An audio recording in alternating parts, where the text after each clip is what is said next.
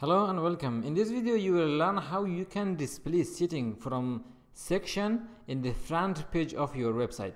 In the previous video we learned how we can create our own section. So this was the profile section we have created. It has an image picker, a username as well as a user bio and it is not showing in the page here. So in this video you will learn how you can display those settings.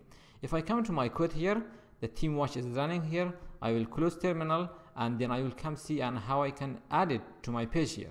For now, I am not going to worry about any setting. First of all, which one is easy? We have our settings here. Image, username and bio. Let's display the image here. It is very easy. So I'll come here, I'll put an H3 here and then I will say if you want to display anything from setting and you are in a section file, if you check out the breadcrumb here, I am in the section folder in the profile. If you're in the section folder, in the current section just write section dot settings and this settings refer to the setting here and dot whatever is the id of the data you want to display. For me i want to display the username.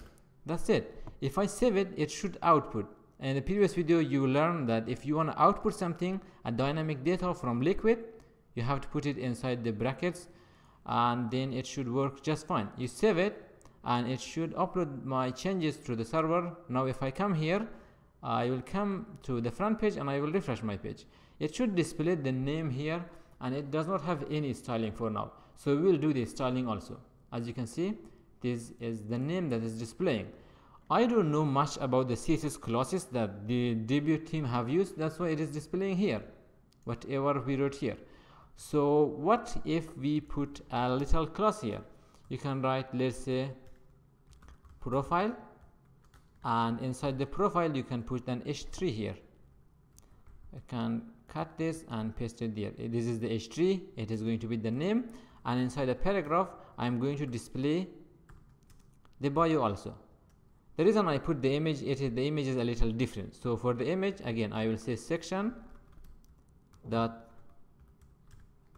settings dot user underscore bio which is going to oops it just auto complete the wrong one.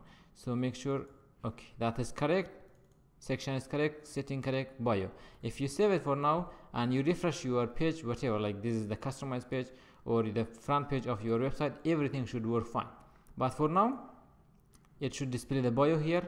For image also i will come here and display the image underneath here so how you display the image? You might thinking of writing section dot settings dot whatever is the id the id is the user image right? If you write it down here and you save it let's come to the front page of the website and see what happens. You refresh the page it should upload it by default. So it does not show the image again. If you refresh again maybe it didn't upload that much quickly yes it did now. You come here it does not show the image. If I inspect the element I will show you what is wrong that it is not showing the image. I will also close the preview mode. This is an extra layer here. We'll talk about the preview mode in the future videos how it is useful and why people use it. If you check out the image here it says file then it says the name of the file. Whenever you refer something like this if that is an image it will show you the name of that image. And if you want to see the the full URL for that page make sure you append a filter to this one. Filters are what modify this one. If you have ever used Laravel if you have used Vue.js they have something called filter. Filters are using this pipe. You can add a pipe here and after the pipe you can add the filter. So you can learn more about the filter on the cheat sheet I have recommended in the previous videos if you come to this cheat sheet there are many other filters that you will learn as you are going to develop your theme. I will show you some of them here. For me here i have a filter called image url here. And the second it has a parameter. It is going to ask you you want to display the image which size you want to display in the in the parameter here.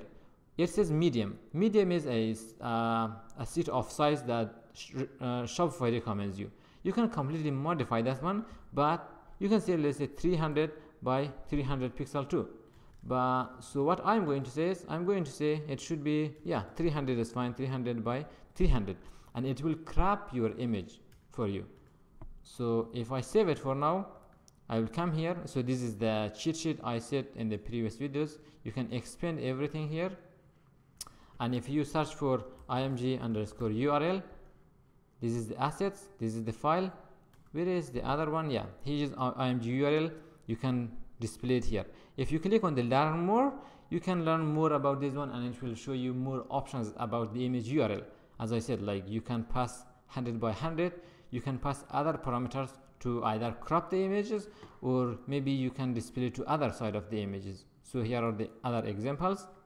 It is going to cut it for you and if you pass it 200x it will grab the second parameter as the first one. And there are some other options like you can scale it you can format it.